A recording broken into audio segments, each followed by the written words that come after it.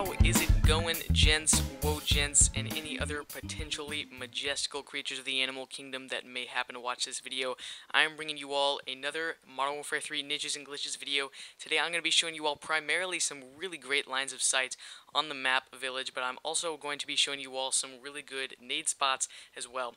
Before I go on too long of a pointless rant, let's just uh, get to it if you happen to be over by B flag and domination, I don't know, maybe you're capping the flag, maybe you're just looking for hidden teddy bears, you can jump up on this tiny little pile of trash that is hoping to be a hill when it grows up someday and look through that little slit and you can see over to this back flank route. Maybe you think someone's over here, maybe you saw them on the mini map, just look through that line of sight. It's a uh, really great line of sight and uh, I promise you'll pick up a few kills with that one. It's pretty good, I've used it myself a couple times and uh, yeah, just keep that one in mind whenever you're over there by B flag. Now moving on over to uh, C flag, or over here, this area of the map, this alleyway over here is uh, very highly populated, to say the least. You know, there's people running back in this alleyway over here, and there's lots of people sitting over here. So, I don't know, maybe they're uh, sitting back here watching a couple spawn points, uh, but what you can do is come over here and lay prone. You can look underneath the sheet metal and you have a beautiful line of sight. I'm talking beautiful over to uh, them, even if they're head glitching on a couple crates here. I'm going to show you in a minute. Uh, what I like to do sometimes, especially in free-for-all, is sit behind these boxes right here, and there's a spawn point right back in there, uh, right back there, so just beware of that. But uh, lots of people like to sit here in free-for-all and camp that, so if anyone's back here head glitching, use that line of sight. I guarantee you're going to pick up a few kills. It's really fantastic. Moving on, we have a nice little line of sight in the dip in the cinder block wall over here. You can look through it and see all the way to the white truck that some would uh, argue is on the other side of the map. It's a really great spot. A lot of people like to sit there and camp. I'm sure you all know them.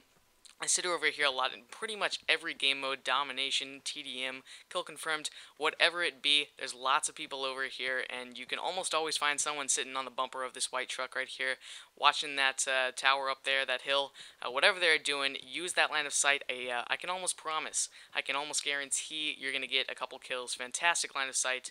Uh, just make sure to use it to your advantage. Now, if you think someone's in that back alleyway over there, you have a couple valid options to uh, check it out. You can look through these uh, little windows right here.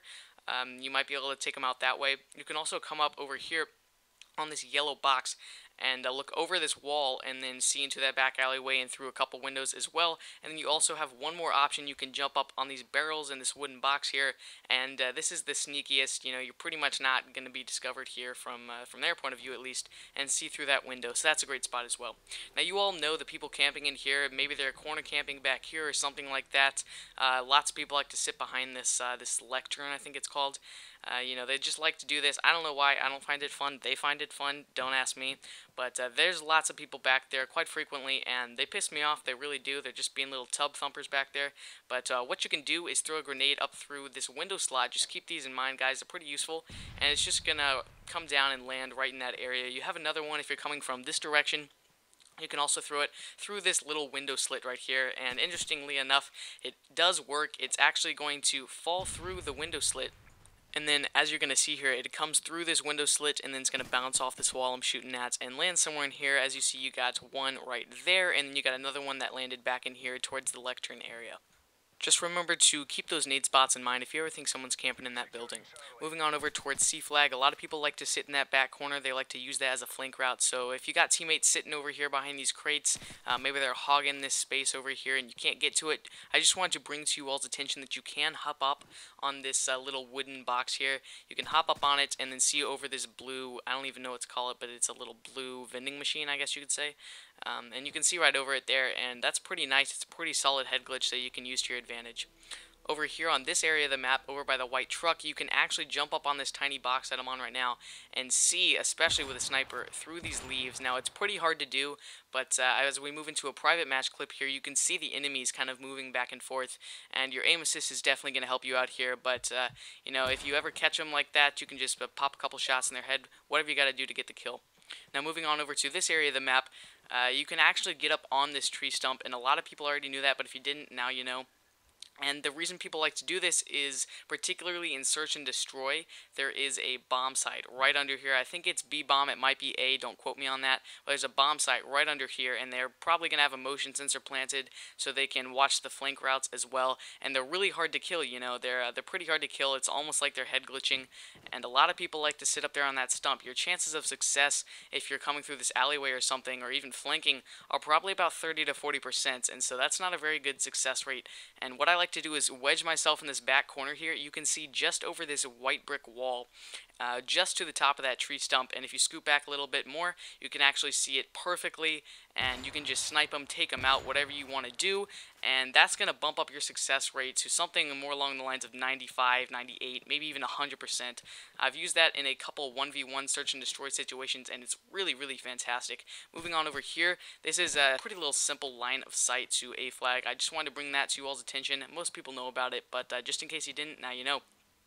If you ever need to get a nade up to B flag while you're under this underpass, I like to call it, it can be pretty hard, but uh, what you want to do is just bank it off that wall right there, and that's a pretty good nade spot as well. Um, most people don't know about that, so just make sure to use that as much as you can.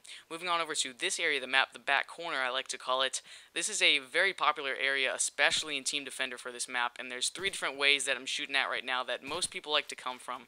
Um, if you're if you have the flag, a lot of people like to come back here and camp. So if you already got a teammate watching that line of sight, what you can do is jump up on this car and then a scoot down and crouch, and you can get a nice head glitch working there on that box. As well as if you come over here and jump up on this ledge, ease around the corner, and you have another nice head glitch watching that uh, area of the map as well. The people coming from where B flag would be, and uh, this is just a really popular area in Team Defender.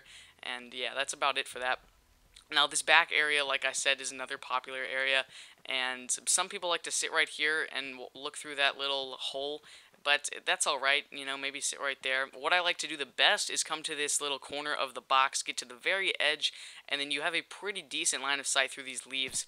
Uh, you can see the people coming through that hallway. Marksman helps a little bit, not too much, but uh, if they're moving, as long as they're moving, you're going to be able to catch them pretty easily. Thank you so much for watching this Modern Warfare 3 Niches and Glitches video. If you enjoyed it and you're new around here, feel free to click on the subscribe button up above or the one on screen right now for more boomtastic content. Otherwise, guys, feel free to check out either of the videos on screen, and have a great day.